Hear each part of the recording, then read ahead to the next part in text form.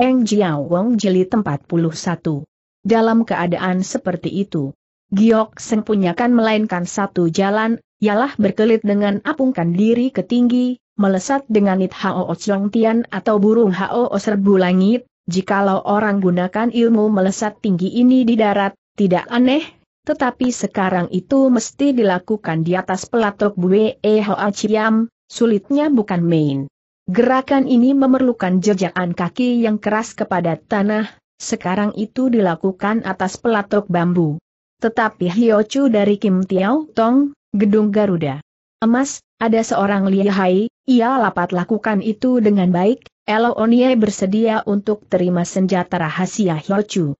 Berbareng dengan itu, Giok Seng pun hunjuk hormat kepada si pendeta. Ketika itu, ia sedang menginjak dengan kaki kiri, ia berada di sebelah kanan si orang suci. Sambil menukar kaki, ia perlihatkan sikap Kualio Tengsan, atau mendaki gunung dengan menunggang harimau, ia menjawab, aku bersedia akan turut titah.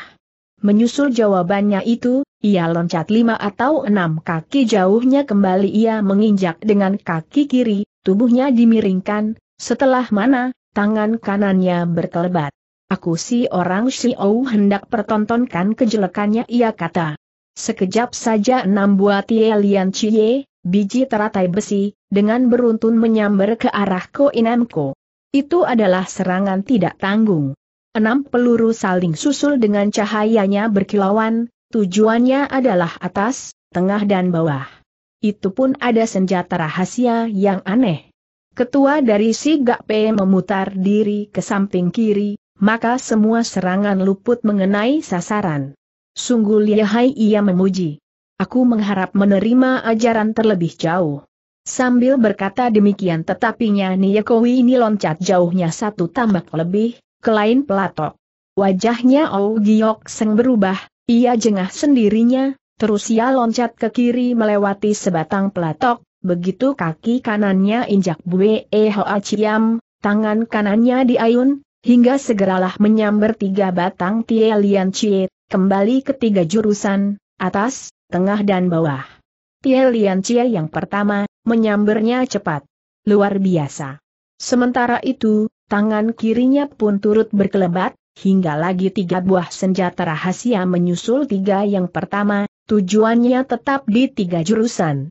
Koinamko tahu bahwa orang akan lakukan serangan susulan, dari itu, di saat ia loncat ke kiri, ia sudah siapkan senjata rahasianya, ialah si Bun Chit Pokyo, sedangnya serangan datang, ia berseru, bagus ya berseru seraya mengayun tangan kirinya yang ujung, bajunya gerombongan, atas mana, semua enam tie lian cie kena dipukul jatuh, jitu sekali, Chit Peo Oko mengenai enam senjata rahasia itu, hingga kedua rupa senjata pada jatuh ke muka air.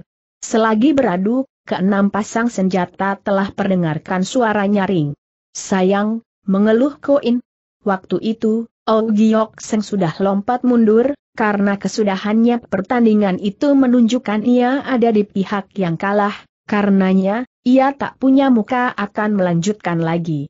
Tetapi apa mau ketika itu, Nahao dan Hubeng datang bersama, yang satu dari arah timur utara, yang lain dari timur selatan. Aye Kim Kong tidak puas terhadap Hiochu dari Kim Tiao Tong itu, sejak mulai injak hingga kedua penyerangnya tak peroleh hasil. Aye Kim Kong tidak puas dengan tidak berhasilnya dua potong B.E. Hang Tan B.E. Piao.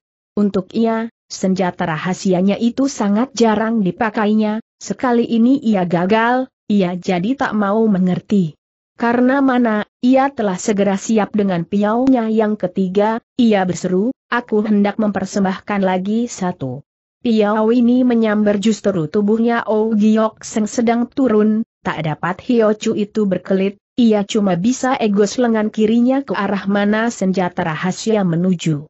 Walaupun demikian, ia tak luput seantronya.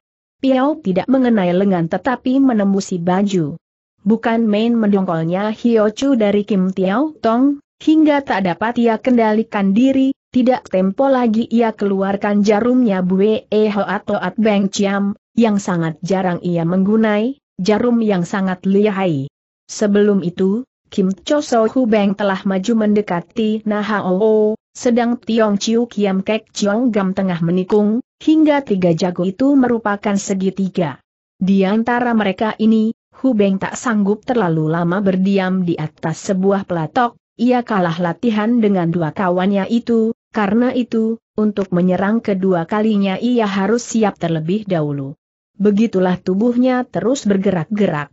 Pada waktu itu, sehabis tangan bajunya ditoblosi Buhang Yan Bue E Piao, Giok Seng sudah lantas siap sedia, terus saja ia kata pada Nahao, Najia Hiap, bagus Piao Wamu. Nah, cobailah ini satu lagi. Seruan ini disusul dengan gerakan tangan, dengan kutikan jari kepada pesawat dari bumbung jarum, hingga segeralah menerobos keluar lima batang jarum yang biasanya meminta jiwa. Hebatnya, jarum ini pun berbareng melesat ke lima jurusan. Apa mau, di saat Chu lakukan penyerangannya itu, pelatok injakannya telah melesak mendam, dengan sendirinya tubuhnya pun turut turun sedikit. Hingga karena demikian, incarannya pun jadi turut berubah, apa pula, karena hendak mengimbangi tubuh, lengannya turut bergerak juga. Sebab ini, ia tak dapat menjuju lagi sasarannya seperti apa yang ia inginkan, hingga empat jarum luput. Akan tetapi satu jarum, yang dilepaskan paling belakang, menjurus tepat kepada Hubeng.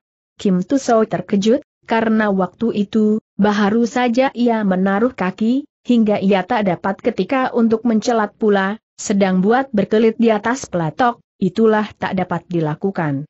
Ia melainkan bisa kibaskan tangannya, untuk sampok jarum, tapi apalah cur, datangnya jarum mendahului kibasannya itu, tak tempo lagi pundak kirinya kena tertancap, hingga ia segera keluarkan jeritan tertahan, sebab rasa sakit terus langsung menyerang sampai ke hulu hatinya. Karena luka ini, asal semangatnya gempur, mesti dia rubuh kecebur ke dalam empang. Nah Hao dan Chiong Gam dapat lihat saudara itu terkena senjata rahasia, mereka kaget sekali. Mereka berdua pun baru saja luput dari jarum yang lihai, yang membuat mereka gentar dan kagum dengan berbareng. Tentu saja Kim Tusou mesti ditolong. Maka tak memperdulikan lagi kalau Oh Giok Sengmi nyusuli serangannya pula, keduanya loncat ke arah Kubeng. Mereka sampai dengan berbareng, dengan begitu, dengan berbareng juga mereka bisa sambar kiri dan kanannya Kim Tusou, untuk terus dibawa berlompatan ke arah Paseban, mereka berhasil mencapai lankan sebelah barat. Di pihak penyerang, Ong Giok Seng juga terancam bahaya karena melesaknya pelatok Bue E Hoa Chiam. Memang pelatok itu tak timbul tinggi, karena melesak mendamnya, Kaki kanan dari Hiochu itu, dasar sepatunya, lantas mengenai air. Ia terperanjat.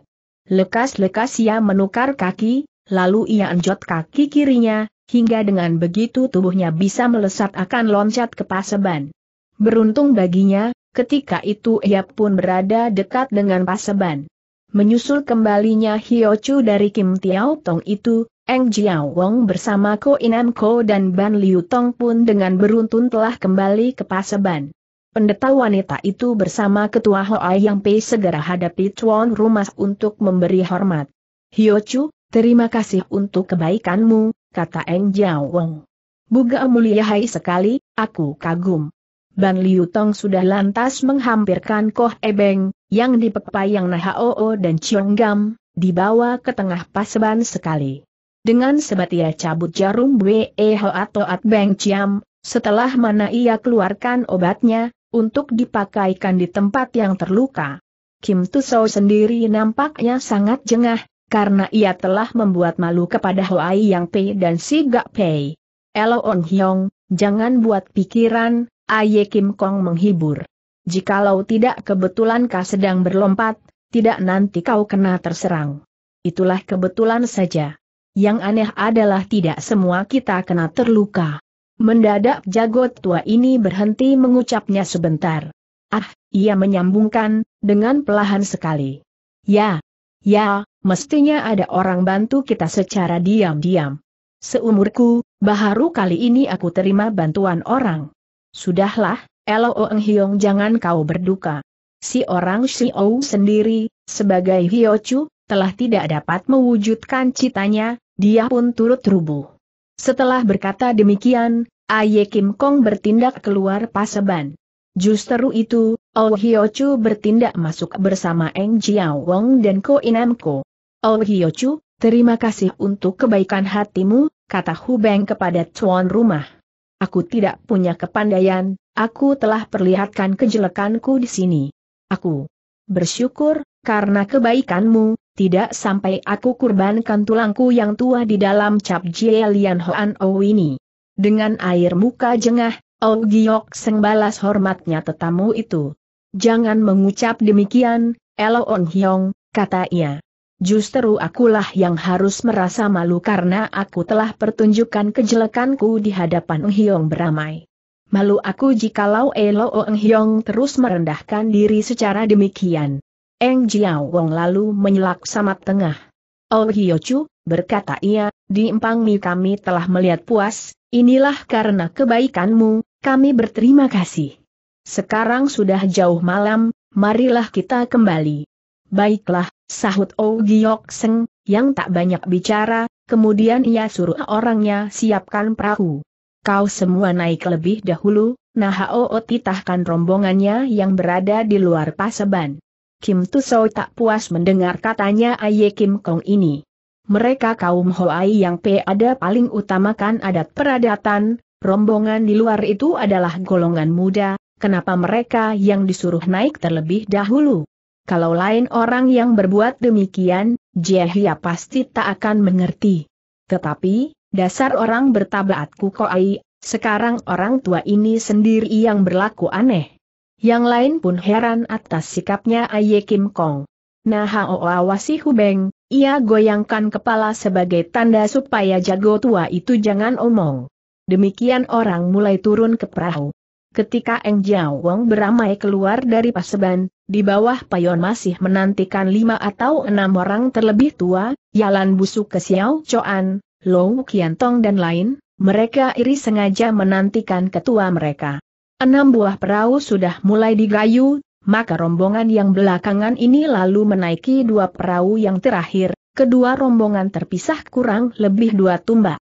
Aye Kim Kong Na Hao bersama Chiang Bun Jineng Jiao Wong, duduk di perahu yang kedelapan, yang digayu paling belakang. Sikapnya Na Hao beda sekali. Ia perlihatkan wajah riang gembira, ia bicara sambil bersenyum berseri, ia tunjuk sana dan tunjuk sini, untuk puji empang itu. Ia pun tak lupa puji Oh sendiri. Enam buah perahu di depan sudah lantas mendekati tepian itu waktu mendadakan anak buah dari perahu yang ketiga perdengarkan suara terkejut atau heran, karena perahunya seperti bentur serupa benda, rampai kendaraan itu miring ke kiri. Penumpang perahu itu kebanyakan pada berdiri, karena itu, si jurumudi tak dapat melihat nyata ke sebelah depan, ia cuma menyangka orang kebanyakan berdiri di sebelah kiri, maka ia kata, Lou Suhu beramai, harap tidak semuanya berdiri di sebelah kiri kendaraan air ini kecil. Kau gayu saja jangan khawatir, kata beberapa penumpang. Oh Giok Seng dengar pembicaraan orang di perahu ketiga itu, tapi Aye Kim Kong sedang mengajak ia bicara, bicara banyak perhatiannya tidak sampai tertarik. Lekas juga semua perahu menempel kepada tepi, semua orang lantas mendarat. Jalan di depan, Ong Giok Seng pimpin semua tetamu keluar dari taman bunga, tetapi ia tidak mengajak kembali ke Kim Tiao Tong, hanya ia ambil sebuah pintu kecil hingga mereka sampai di sebuah pekarangan di mana ada satu bangunan terbagi tiga, yang di utara ada tiga buah kamarnya, yang di timur dan barat masing-masing terdiri dari tiga buah juga. Semua kamar ada bersih dan tenteram, segala perabotannya terawat baik. Cuan rumah persilahkan semua tetamunya beristirahat di dalam tiga tempat itu. Tetapi lebih dahulu dari itu, ia sudah undang Eng Jiao Wong dan Ko Inam Ko meniliki semua ruangan dengan sembilan kamarnya. Besok pagi pasti aku nanti undang Ko Wei menemui Pang Kyo, kata Oh Hio Chu paling akhir, setelah ia minta perkenan untuk undurkan diri. Seundurnya tuan rumah itu. Ban Liu Tong pecah rombongannya untuk mereka ambil kamar masing-masing. Ia pesan akan semua waspada, tak peduli Oh Giok Seng bersikap manis. Ia hunjuk walaupun masih ada dua jam tempo untuk terang tanah, tempo itu toh ada cukup lama untuk dilewatkannya. Semua orang perhatikan pesan itu, sesudah mana Liu Tong masuk ke kamarnya di mana Eng Jiao Weng segera papakinya. Apa mereka telah berada di tempatnya masing-masing, Sutae? Tanda tanya Suheng ini tanya. Ya, Liu Tong manggut. Tempat ini disediakan untuk kita lengkap segalanya. Memang juga kecuali kamar dengan perabotan lengkap, di situ pun ada disediakan empat pelayan untuk melayani para tamu. Ketika empat pelayan itu bawakan teh, Aye Kim Kong kata pada mereka, kami hendak beristirahat, kau besok pagi saja datang lagi untuk layani kami. Empat pelayan itu menurut, mereka undurkan diri. Setelah itu, Liu Tong segema periksa lagi lukanya Hu. Beng untuk tukar dengan obat baru. Lihat, Su Heng, keanehan dalam kalangan Kang Ou, kata Liu Tong kemudian. Jarum rahasia ini, yang sebenarnya disebut Bwe Ho atau Kut Chiam, ada warisan satunya dari imam dari Hian Tou Kuan. Turut apa yang aku tahu, jarum ini sudah lenyap dari kalangan Kang Ou, pun tidak pernah diwariskan kepada murid bukannya imam, akan tetapi di sini ada Oh Seng yang mempunyainya dan pandai mencugunainya juga. Tidakkah ini luar biasa? Itu benar sukar dimengerti, kata Eng Jiao Aku lihat, berkata Kim Tusou, selama kita kembali dari Empang, begitupun mengenai kegagalannya Oh Seng, rupanya Najie Hiap ada lakukan sesuatu? Ditanya begitu, Nahao bersenyum. Kau terlalu bercuriga, Hu On Hyong, menyahut ia. Tidak pernah aku pisahkan diri dari rombongan, aku bukannya dewa, aku tidak punya juga ilmu memecah diri, apa yang aku bisa lakukan? Yang benar adalah di dalam gelap ada orang yang menggercok dan mengenai itu On Hyong agaknya tak memperhatikannya. Setelah berkata begitu, Aye Kim Kong menoleh ke jendela dan menggape terhadap Kang Kiat, yang sedang duduk di depan jendela itu. Bocah, jangan kau terus berpura pilon saja kata ia. Apakah kau tak mau angini pakaian mandimu? Xiao Liongong tertawa, dari kolong meja teh ia keluarkan segumpal pakaian, terus ia bawa itu ke pintu untuk dibeber, digantung di gelang-gelangan pintu. Mari, Hu Beng memanggil seraya menggape.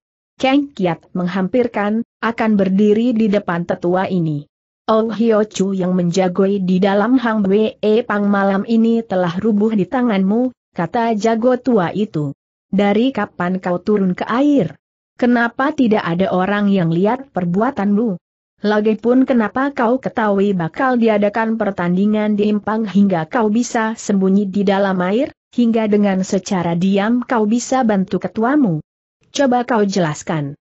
Kang Kiat berikan jawabannya, Keterangannya itu membuat semua orang heran dan kagum, semua merasa berbahagia yang Hoai yang Pei punyakan murid berupa dirinya bocah luar biasa ini. Sebenarnya hal ada kebetulan saja, demikian Kang Kiat sambil tertawa. Di luar dugaanku, aku dapat lihat pelatok Bue E Hoa Chiam itu, dengan lantas aku merasa curiga, aku sangka pada itu mesti ada terdapat persiapan apa. Kebetulan Oh Giok Seng timbulkan soal adu kepandaian di atas pelatok itu, aku lantas ambil putusan. Sengaja aku tidak omong suatu apa, karena aku khawatir nanti ada yang tegur padaku. Demikianlah sedangnya orang semua pasang ngomong, selagi anak buah perahu pun tak melihatnya, aku merosotkan diri turun ke dalam empang. Nyata jitu dugaanku, Oh Hio Chu hendak gunai pelatok itu untuk rubuhkan pihak kita. Di dalam air, aku pasang metu dan menunggu ketika.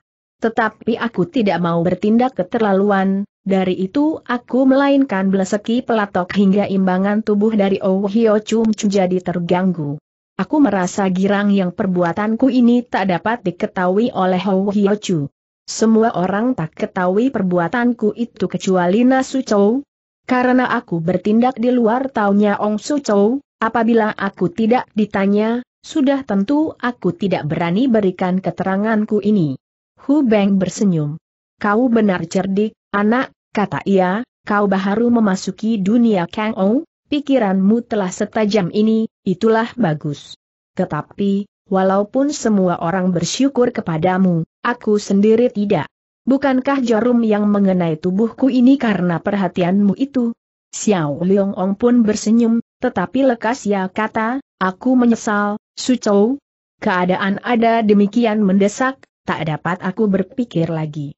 Akan tetapi, apabila Sucou berada dalam bahaya besar, tidak nanti aku kasih ampun pada Oh Giok Seng, tentu aku akan bikin dia masuk ke dalam air.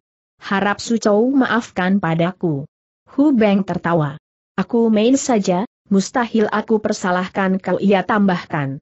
Lalu ia berpaling pada Eng Jiao Wong dan Ko Inam Kyo, hari kemudian dari bocah ini tak berbatas, maka haruslah dia dididik baik, supaya tidaklah disiakan akan bakatnya yang sempurna itu.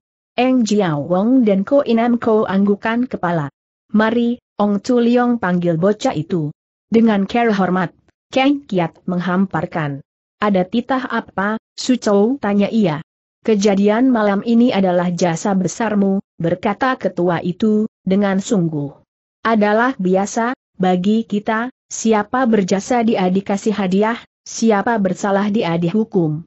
Mengenai kau, untuk selanjutnya aku larang kau berbuat pula seperti macam ini. Umpama aku tampak ancaman bahaya, aku melainkan izinkan kau mengisikinya, aku larang kau ambil putusan dan bertindak sendiri.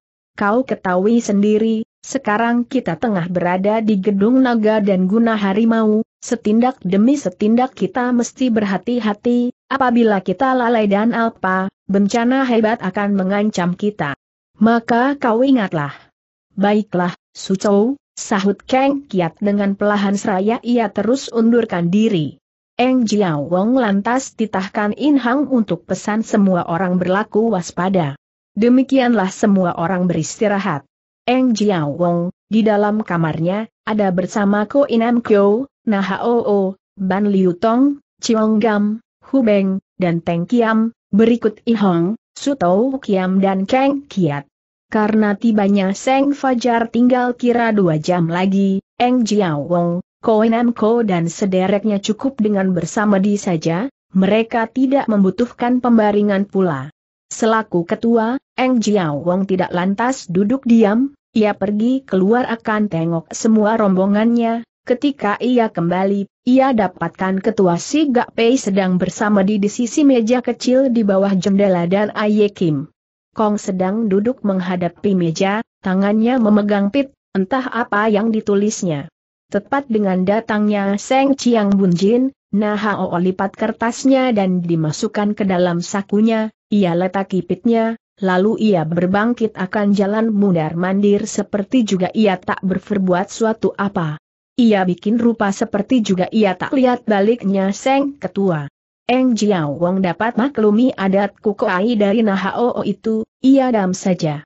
Aye Kim Kong masih saja mundar-mandir, ketika dengan sekonyongnya dekati Eng Jiao Wong dan berkata dengan pelahan sekali, Oh Giok Seng ada cerdik dan licin, kita mesti waspada, aku pun telah kumat penyakitku suka bergerak tak suka berdiam, maka itu, aku hendak pergi keluar untuk jalan sebentar. Biarlah, untuk dua jam lamanya aku menjadi tukang ronda darurat. Eng Jiao Wong manggut walaupun ia tahu orang tak omong dengan sebenarnya. Baiklah, ia jawab saudara seperguruan itu. Nah Hao segera bertindak keluar. Ong Tuliong tidak khawatirkan saudara ini, maka ia terus naik ke atas pembaringan, untuk duduk diam sambil memejamkan mata. Tempatnya bersama di itu berhadapan dengan tempatnya Ko Inam Kyo, jaraknya kira empat tumbak. Kamar mereka memang ada luas sekali. Rasanya belum lama Eng Jiao Wong pejamkan mata atau segera kupingnya dengar suara berkelisik pelahan sekali, sebagai gerakannya pakaian. Segera ia buka sedikit kedua matanya akan memandang ke arah pintu. Ia tidak lihat suatu apa, ia melirik ke arah Ko Inam Kyo, ternyata. Ketua si Gak Pei sudah tidak ada di tempatnya diam-diam ia terkejut, lantas ia berbangkit akan pergi keluar juga. Pekarangan luar ada sunyi, Ko tak tertampak di situ. juga Aye Kim Kong tak kelihatan sekalipun bayangannya. Tuliong terkejut dan heran juga, sebab ia tahu, bukan biasanya Ko Inam Ko bertindak secara sembrono. Kenapa pendeta itu keluar secara diam-diam? Maka ia jadi ingin mengetahuinya. Tidak ayal lagi ia pergi ke ruangan timur barat, di selatan situ ada sebuah kamar yang dipakai sendiri oleh lima muridnya ketua si Gakpe itu. Kamar ini ada gelap dan sunyi. Dengan pelahan ia panggil Siu Seng, akan tanya apa pedang gurunya masih ada. Baharu saja suhu ambit dan bawa pergi, Siu Seng kasih keterangan. Ketua Hoa Yang Pei jadi semakin heran. Kau beristirahatlah, jangan bikin banyak berisik, ia pesan Siu Seng. Lalu ia bertindak ke pekarangan dari mana terus ia lompat naik ke atas genteng. Ia berdiri diam di atas wuwungan akan melihat ke sekitarnya. Ia dapatkan, di empat penjuru semua ada sunyi senyap. Karena ini, ia menuju ke arah Kim Tiao Tong, gedung Garuda Emas. Seluruh gedung ada gelap petang dan sunyi. Akan tetapi di luar pintu model bulan, ada dua orang yang menjaga sambil jalan mundar-mandir. Cuma dari dalam pintu ini ada molos keluar sinar api yang suram. Eng Jiao Weng sembunyikan diri jauhnya empat lima tumbak dari pintu model bulan itu, ia jemput sepotong batu kecil, ia menimpuk ke pintu itu. Timpukan itu menerbitkan suara pelahan akan tetapi sudah cukup untuk menyebabkan kedua pengawal menoleh dengan segera. Menggunai ketika baik itu, Tu Leong mencelat ke atas tembok tanpa dapat terlihat oleh kedua orang itu, dari atas tembok ia lompat turun ke sebelah dalam di mana ia hampirkan sebuah ruangan timur. Di ruang ini, kamar selatan ada kamar utama, yang di timur adalah kamar samping. Eng Jiao Wong hampirkan kamar selatan itu. Ia lihat dua pengawal di bawah payon, mereka ini bersenjatakan golok Wei Tao. Ia pergi lebih jauh ke kamar timur, di sudut mana ia lompat turun, tetapi ayus teruu katu bayangan berkelebat di tempat jauhnya setumbak lebih, demikian cepat sehingga ia tak dapat memperbedakan potongan orang. Karena ini, ia berlompat untuk menguntit. Bayangan itu menuju ke barat, sekejap kemudian dia sudah terpisah sepuluh tumbak lebih dan Ong Tu Liong. Eng Jiao Wong hanya menduga kepada Nahao atau Ko Inamko. Karena ini, ia lantas lompat turun ke bawah. Kembali ke kamar barat, Eng Jiao Wong menuju ke belakang. Di sini ada dua buah jendela, di timur dan barat, dari keduanya ada molos sinar terang. Ia segera hampirkan jendela yang satunya, ia menjot tubuhnya untuk bisa berpegangan kepada kayu jendela, untuk melihat ke dalam. Di antara kain jendela ia tampak sebuah meja tulis dengan tiga batang lilin, yang menyala tinggal separuh. Perabot kamar itu lengkap dan terawat baik. Di sudut barat ada sebuah pembaringan kayu di atas mana ada rebah satu tubuh, dilihat dari dandanannya, mesti dia ada Oh Giok Seng. Dia rebah menghadap ke dalam. Tetapi waktu itu Hiochu itu justru berbalik, tangannya digeser, tangan kirinya segera bentur suatu benda hingga ia terkejut sampai keluarkan seruan tertahan. Ia telah pegang sebuah piau yang gagangnya tertancap sepotong kertas, maka itu, ia lantas beber kertas itu untuk diperiksa. Begitu ia sudah membaca, ia jadi gusar, ia lempar kertas itu ke pinggir pembaringannya, ia ngoceh seorang diri, jangan kau banyak tingkah. Berulang aku terhina, aku tak puas. Besok dalam pertemuan di Tian Hang Tong, kita nanti lihat, Seng Man jangan binasa di tangan siapa, Eng Jiao Wong tahu pasti, Hio Chu ini telah dipermainkan orang, dan si orang jail itu tentunya adalah bayangan tadi. Karena ini, ia tidak memikir untuk ganggu Hio Chu itu. Malah segera ia undurkan diri. Sebab bayangan tadi menuju ke barat, ia pun ambil jurusan itu. Ia telah melewati dua tempat yang mirip tangsi, di kiri dan kanan terdapat banyak kamar. Ia berada di tempat semacam gang yang panjang yang gelap seluruhnya. Kapan ia maju lebih jauh, ia tercegat sebuah tembok panjang, di tengah mana ada satu pintu besar. Semua tembok terbuat dari batu hijau. Di kiri kanan pintu itu, yang tinggi dan besar, ada digantungkan lentera angin. kedua pintu terpentang lebar, tidak ada yang jaga. Tentu saja Eng Jiao Wong curiga, sebab luar biasa, di sarang Hang Wei Pang bisa ada tempat tanpa penjagaan. Ia tidak berani masuk dari pintu itu, ia hanya periksa kiri dan kanannya, hingga ia lihat tembokan tinggi empat atau lima tumbak. Di situ ia lompat naik ke atas tembok, akan awasi bagian dalamnya. Bagian dalam itu, yang sunyi, ada lebar sekail. Di sebelah kanan ada sebuah rumah dengan serambi depan yang besar. Di dalam pekarangan ada banyak pohon besar dan tinggi. Jalanan ke serambi ada terpasangkan batu, yang bergambarkan rupa bunga. Mengawasi jalanan semacam itu, Eng Jiao Wong merasa aneh. Tetapi ia berada di tempat yang gampang terlihat orang, dari itu, ia bertindak ke sudut timur utara di mana, di selatan dan utaranya, ada banyak pepohonan. Ia ingin dapat kepastian, ia keluarkan dua potong duit C E Tong C, dengan itu ia timpuk sepotong batu yang menonjol. Untuk keheranannya, duit itu melesak masuk. Jalanan itu tak dapat diinjak, Tu Leong berpikir. Ia tidak mengerti apa perlunya rumah itu, apabila ke situ orang tak dapat bertindak masuk. Ada sulit akan memasuki serambi dengan satu lompatan jauh, untuk itu orang mesti lihai ilmu mengentengkan tubuhnya. Orang yang pandai ilmu seperti Choh Siang Hui dan Teng Peng Tau Sui tidak ada seberapa, tentunya tidak semua orang Hang Wei Pang bisa mundar-mandir di sini. Setelah mengawasi lagi sekian lama, Tu Leong menduga pasti, bahwa jalanan masuk adalah di samping, kira lima tumbak di sepanjang pepohonan di mana dari timur ke barat, ada tihang lentera setiap lima tumbak, tingginya tihang pun lima tumbak juga. Pun ada sulit untuk orang berlompatan di antara tihang lentera itu, karena jaraknya yang cukup jauh. Selagi ketua Hoai yang Pei pikir untuk gunai kepandaiannya enteng tubuh, akan berlompatan masuk ke gedung itu, tiba-tiba ada dua bayangan berkelebat di tembok utara, berdiri di atasnya, agaknya mereka memeriksa ke dalam, sesudah mana, keduanya berpencar, satu ke selatan, satunya pula ke utara tembok itu. Sambil mengumpatkan diri, Eng Jiao Wong dapat kenali dua bayangan itu, ialah Na Hao dan Ko Inamko.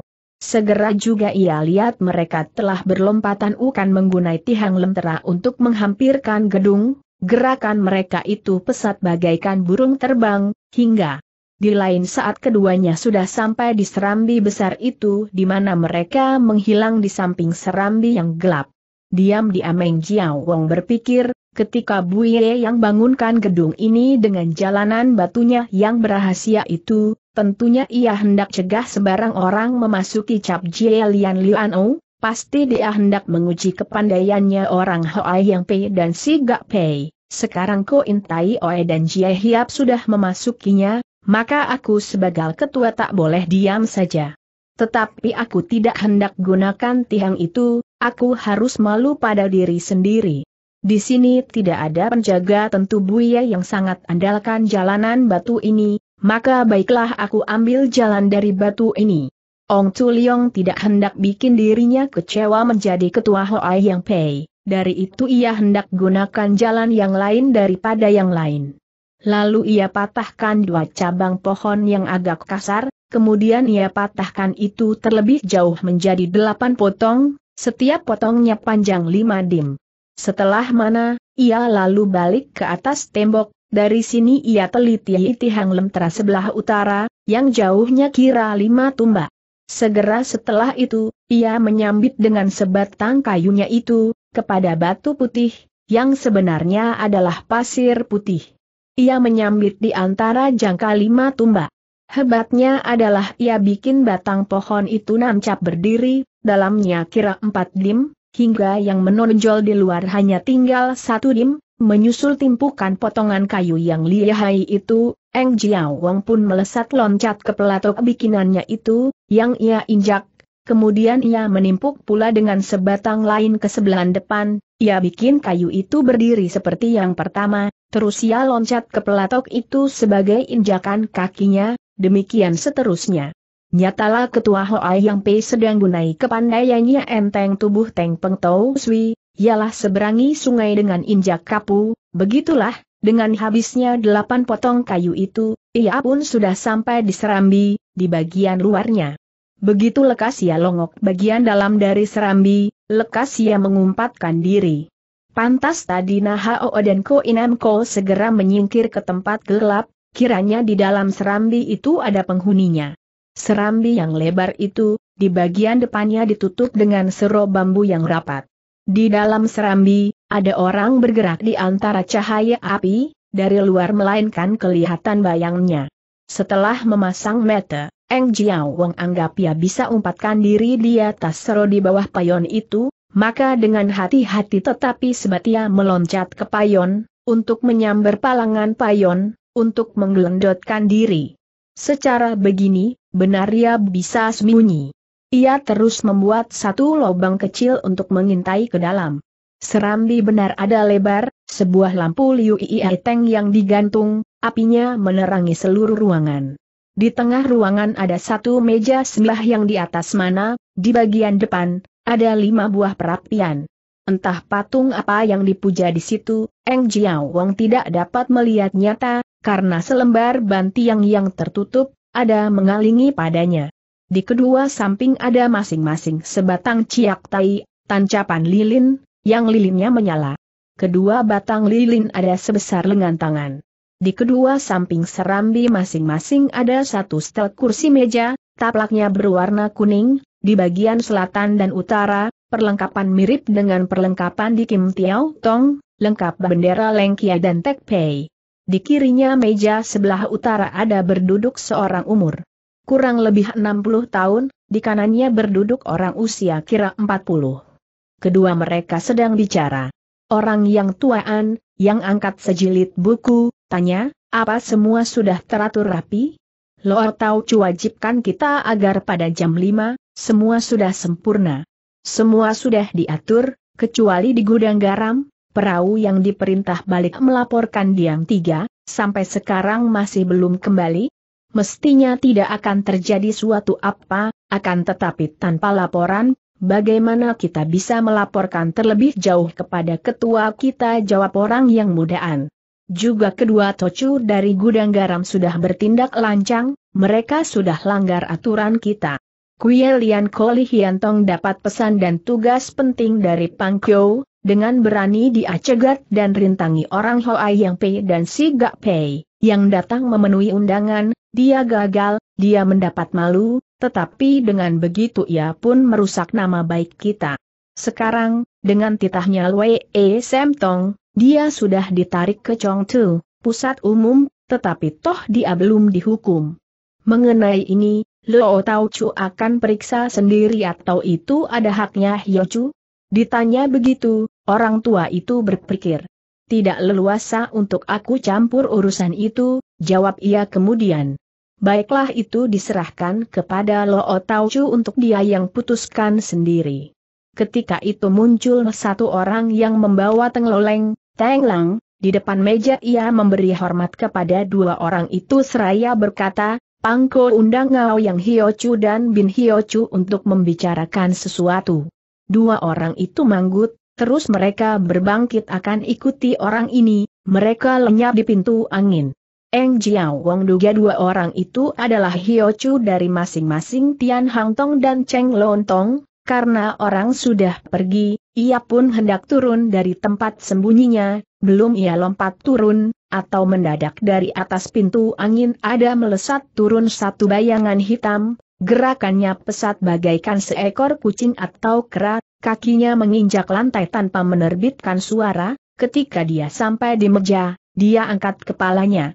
Melihat orang itu, di dalam hatinya Eng Jiao Wong kata, sungguh bernyali besar.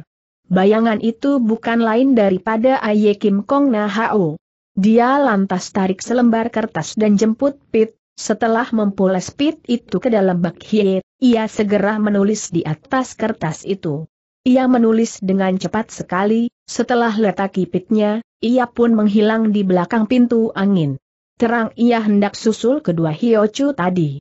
Baru saja Nahao pergi, atau dari belakang Bantiang muncul satu bayangan lain, gerakannya pun pesat dan enteng bagaikan angin, dia turun di dekat meja. Mengenai orang itu, di dalam hatinya, Tuliong kata, aku menyerah kalah. Orang yang kedua ini adalah Ko Inamko. Dia baca tulisannya Nahao, dia manggut. Dia pun segera menulis dengan cepat. Kemudian dia rogo sakunya akan keluarkan serupa barang, yang Eng Jiao Wong kenalkan adalah sebatang anak panah Co atau Bu Iecian. Suratnya itu ditusuk dengan panah itu, setelah mana, dia berlalu juga ke belakang pintu angin. Tuliong kagumi dua kawan yang nyalinya besar itu. Menampak perbuatan kedua kawan itu, ia anggap ia pun tidak harus datang dengan begitu saja, maka ia terus loncat turun, ia singkap seru untuk masuk ke dalam. Ia hampirkan meja, akan baca kedua potong surat. Aye Kim Kong menulis dengan, ringkas, terimalah hormatnya Nahao, murid dari Hoa Yang Pei. Koinam Ko menulis, hormat dari Koin, murid si Gak Pei. Hanya surat ini ditusuk dengan anak panah istimewa dari pendeta wanita itu, sebab itu adalah panah yang asalnya didapat dari orang Hang Wei Pang di Lok Hun Te, yang Koin simpan saja, baru sekarang dikeluarkan, dipulangkan. Diam-diam Meng Jiao Wong merasa puas. Ia pun masih simpan panah semacam itu. Maka ia pikir, kenapa ia juga tak hendak meninggalkannya. Karena mana, ia jemput Pit, ia lantas menulis, hormat dari Ong Tu Liong, angkatan muda dari rimba persilatan, ia tinggalkan surat ini bersama dua surat kawannya. Kemudian ia pun pergi ke belakang pintu angin, akan dapati sebuah pintu di situ. Ia tidak berani berlaku sembrono, dengan hati-hatilah dekati pintu yang ia tolak dengan pelahan, akan melongok ke dalamnya. Di situ tidak ada orang, keadaan pun sunyi sekali. Maka dengan pelahan ia bertindak memasuki pintu itu, hingga ia jadi berada di suatu tempat lain. Kira lima enam tumbak jauhnya dari pintu ada sebuah gunungan, yang menghalang jalanan, tetapi, di kaki gunung palsu itu ada sebuah jalan lain, yang tikung menikung dan gelap, umpama ada penjahat sembunyi di situ, sukar untuk mengetahuinya. Karena Nahao dan Ko In Amcu sudah masuk, Ketua Hoai yang P ini pun tak mau mundur. Sambil memasang metu ia bertindak masuk di jalan gunung. Palsu itu. Ketika ia muncul di lain sebelah, ia dapati satu tempat terbuka, yang jalanannya lebar dan ada pepohonan di kedua sisinya. Akan tetapi di waktu malam seperti itu, tak bisa orang melihat jauh ke depan, tak dapat diketahui berapa panjangnya jalan itu. Eng Jiao Wong maju terus. Dari kedua sisi jalan itu, antara pepohonan, kadang terlihat cahaya api tetapi tidak ada orang sama sekali. Adalah setelah jauhnya beberapa panahan, baru kelihatan sebuah sanshun atau kampung, yang terkurung oleh pohon cul, pek, dan siong. Jalanan terbuat dari batu putih, diapit dengan pohon bambu halus dan bunga. Eng Jiao Wong merasakan suasana tak menyenangkan, karena itu, ia tidak mau berlaku sembrono. Sekarang terlihat sisa bulan sisir dan bintang pagi yang jarang. Dengan jalan di situ, gampang dia dapat dipergoki umpama di situ ada orang jahat. Maka terpaksa ia ambil jalan antara pepohonan. Satu kali, selagi ia taruh kakinya dengan pelahan, Eng Jiao merasakan kena injak suatu barang lembek, lalu injakannya itu disusul oleh suara melesatnya suatu benda. Ia terperanjat. Segera ia loncat mundur dengan gerakan Kim Li Chu Choan Po atau tambra emas lompat berbalik. Benar di saat ia berlompat, ada anak panah yang menyambar dari samping, dari bawah ke atas, apabila ketua Hoai yang P ini tidak berlaku gesit, pasti ia jadi korbannya panah rahasia itu. Tepat dugaannya Tu Liong bahwa, di situ mesti ada pesawat rahasia. Namun tidak menjadikan ia juri, ia maju terus. Bukankah Nahao dan Koin sudah maju mendahului ia? Sekarang ia ambil jalanan batu putih itu, ia berlari dengan pesat sekira sepanahan jauhnya kembali Eng Jiao Wong lihat sebuah rumah besar, yang potongannya beda daripada rumah yang kebanyakan, payonnya lebar, pintunya tiga, masing-masing jendelanya pun berlainan rupanya. Dari dalam jendela terlihat cahaya terang pun di sini tidak ada penjaganya. Dengan hati-hati Eng Jiao Wong hampirkan rumah itu. Ia tidak dengar suara apa juga.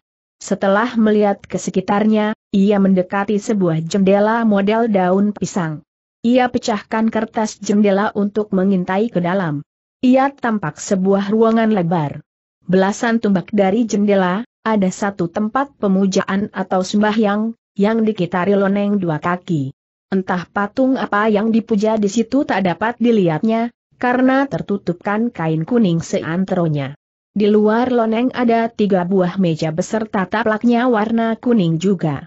Di atas pengelari ada digantungkan belasan pelita liun liteng.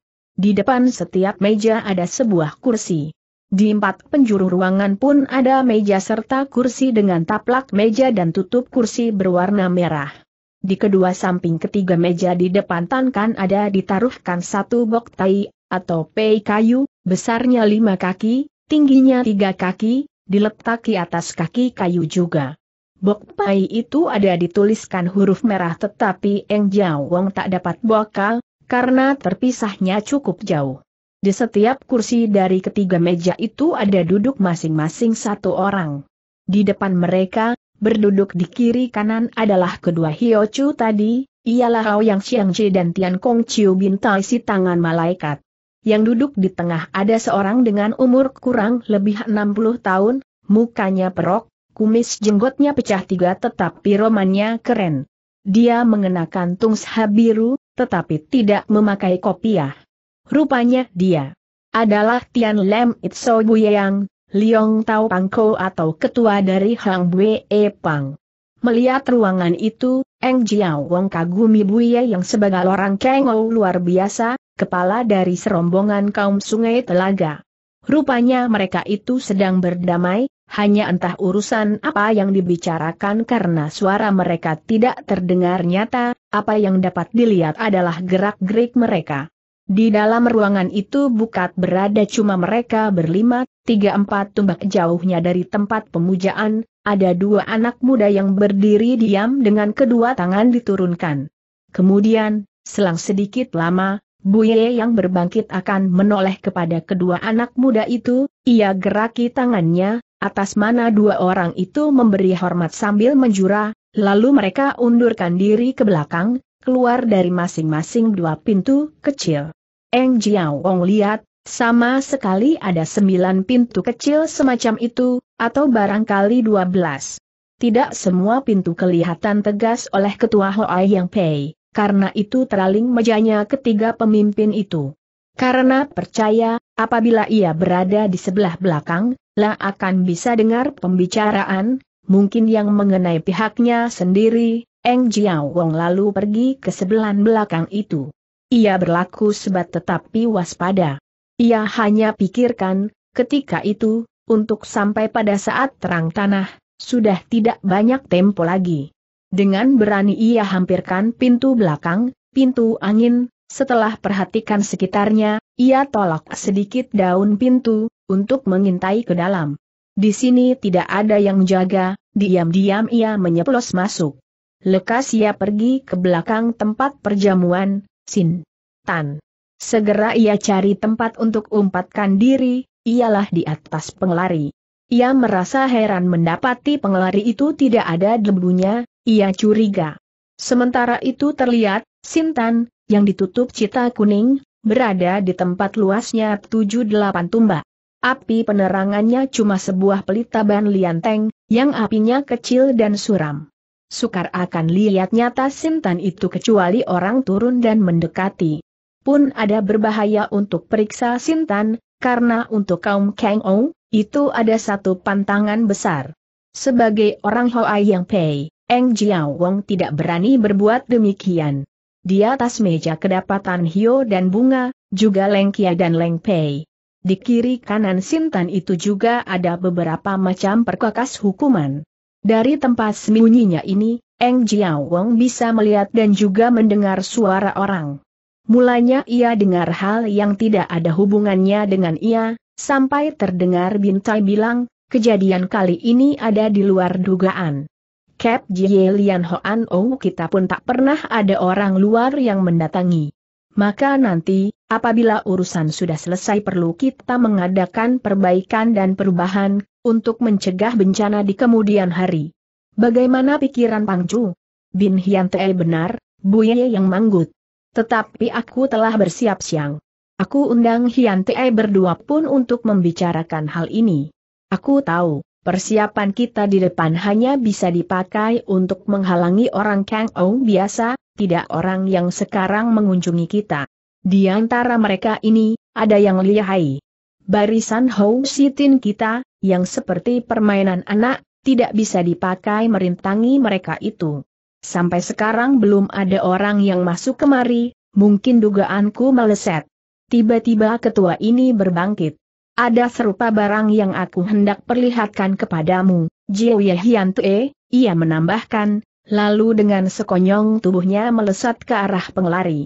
Eng Jiao Wong kaget, ia sangka orang telah ketahui ia bersembunyi di situ. Ia lantas bersiap untuk menghadapinya. Tetapi segera hatinya lega. Pangko itu hanya capaikan pengelari di atasan kepalanya, dari situ dia ambil satu bumbung bambu warna merah, lantas dia turun pula. Diam-diam Eng Jiao Wong tertawa dirinya sendiri. Ia mirip dengan si penjahat yang hatinya kecil. Apabila ia lantas menyingkir, atau menghadapi ketua Hang Bwe Pang itu, tidakkah rahasianya ketahuan? Dengan tenang ia terus mengawasi pula. Buye yang duduk pula di kursinya, kedua Hiochu yang diajak bicara itu berbangkit akan dekati ia di mejanya. Ia lantas buka tutup bumbung, dari dalamnya ia keluarkan sebungkus sutra kuning, yang terus ia buka. Isinya bungkusan itu ada dua lembar kertas, ia lantas beber satu di antaranya. Lihat, Hian Tue, ia kata ini yang ditandai merah ada tempat yang dilalui kedua rombongan Hoa Yang Pei dan Si Gak Pei selama perjalanan mereka kemari. Pikirku, sehabis ini aku hendak tutup semua tempat itu buat diganti dengan yang nanti kita buka baru. Pada hari belakangan ini, aku pun telah dapat tiga jalanan yang baru, buatan alam. Tadinya pernah aku memeriksa tiga tempat itu, tetapi aku tidak memperhatikannya. Setelah tenangkan diri beberapa hari, aku teringat kepada keterangannya seorang berilmu, yang baru ini aku ketemukan. Dia jugalah yang hunyukan aku cap Lian Hoan O ini, yang mirip dengan taman bunga toh. Katanya, asalnya cap Lian Hoan O adalah tempat pertapaannya seorang berilmu, setelah meninggalkan tempat ini, orang berilmu itu tutup berbagai jalanan penting. Aku diberitahukan bahwa tempat ini mencil tetapi penting untuk siapa hendak tancap kaki di sini. Memang, siapa tidak kenal baik keadaan di belakang Gunung Gantongsan, tidak nanti dia dapat cari tempat kita ini. Memang beruntung Bu Yang, setelah pengunjukan orang berilmu yang dia sebutkan tadi, dia berhasil menemui Hun Cui Kuan berikut Cap Jie Lian Hoan O di mana ia bangunkan pula Hang Wei E Pang bersama tiga gedung bahagian dalam, Lue E Sem Tong, lalu lengan dibantu oleh Hao Yang Xiang Ji dari Tian Hang Tong, gedung burung Hong, Bintai dari Cheng Lon Tong, gedung burung Lon, dan O Giok Seng dari Kim Tiao Tong, gedung burung Garuda, yang semuanya lihai, ia bikin sarangnya ini jadi sarang yang sangat tersembunyi dan berbahaya, sedang ia sendiri, dengan kecerdikan dan kelicinannya, berhasil mengumpulkan orang kosin untuk jadi kaki tangannya. Ia tahu jelas segala apa yang kejadian selama kedua kaum Hoai Yang Pei dan Si Gak Pei alami di sepanjang jalan untuk memenuhi undangannya, sesudah tetamunya sampai di Cap di Lian Hoan Ong baru sekarang ia himpunkan semua hiocu dari Lue E Sem Tong, tiga gedung dalam. Eng Jiao Wong kagum akan kecerdikan dan ketelitiannya Bu Yang, tetapi dengan ini pun ia jadi ketahui, Ketua Hang Bwe E Pang itu telah ketahui segala perbuatan orang sebawahannya. Ia ingin melihat lebih nyata, walaupun ia tahu, gedung Tian Hang Tong ini ada berbahaya. Ia geser tubuhnya. Ia percaya betul, ia akan kealingan banti yang kuning itu, hingga orang tak dapat lihat padanya. Begitulah ia pindah ke sebelah kiri tetapi, baru saja ia sembunyi, ia rasakan seperti ada orang yang betot ujung bajunya. Ia menoleh dengan segera, ia lihat ujung ban. Tiang bergerak sedikit. seperti bekas ketiup angin. Ia diam saja, tetapi ia pasang mata. Buye yang di dalam rapatnya masih saja berkata-kata, sampai Aoyang Ji keluarkan segulung kertas dari sakunya, yang ia buka depan ketuanya itu, atas mana, si ketus, manggut berulang. Kelihatannya perlu kita periksa tiga tempat itu untuk ketahui pihak lawan dapat ketahui atau tidak, berkata Aoyang Ji. Turut penyelidikanku yang saksama, tidak ada tanda suatu apa juga bahwa musuh pernah pakai itu, tetapi ada laporan bahwa musuh telah masuk dengan diam-diam maka inilah luar biasa. Apa mungkin ada jalan rahasia lain? Kalau hal benar terjadi, tak dapat kita persalahkan orang kita yang bertugas berjaga. Bintai turut bicara. Kita harus insaf, di pihak lawan, yang terdiri dari dua kaum, ada orang yang luar biasa lihai. Menurut laporan dari cabang Huntu ke-16 di Barat Utara, pendeta wanita dari si Gakpe yang paling lihai, yaitu Tzu Chie Taisu, telah ajak murid kesayangannya mendatangi Gantong San, hanya entah mereka sudah memasuki Cap Jie Lian Hoan O atau belum. Jikalau pendeta itu datang, ia tentu tidak bersendirian, berbagai toko kita pasti tak akan sanggup perintangi padanya. Buye yang bersenyum. Menurut laporan Ong Kyo, yang telah langgar aturan kita, juga Tiat Suatu Jin dari Hoa Yang Pe telah datang kemari, menerangkannya. Ia dan Tu Kiai Taisu adalah angkatan tua dari kedua kaumnya. Biarlah mereka datang, supaya aku bisa belajar kenal dengan kelihayan mereka. Tentu saja aku insaf, saat ini ada saat mati hidupnya Hang Bue E Pang kita, maka itu, tidak nanti aku rela mengantapkan pendirianku ini kena digempur musuh. Umpama, kita toh terdesak, aku percaya kita akan dapat mengundurkan diri dengan ambil jalan rahasia Allah yaitu tikungan ikan hitam, jalanan keluar yang paling terahasia itu. Satu kali cap Lian Hoan O termusnah, aku pun akan bakar ludas Lek Tiok Tong dan Pek Tiok M. Bercekat hatinya Eng Jiao Wong akan dengar ucapan mengancam dari ketua Hang Wei Pang itu. Orang jadinya ada kandung niat jahat sekali. Jadi tepat kepada pepatah, orang tak pikir ganggu harimau, harimau berniat celakai manusia. Tidak sia-sia perjalananku ini, aku jadi kenal tabaat manusia, pikir ketua Hoai yang P ini. Buye yang benar lihai, dia perkuat sarang, dia pun siapkan jalan molos. Diam-diam Tuliong bergirang, karena ia ketahui rahasia musuh.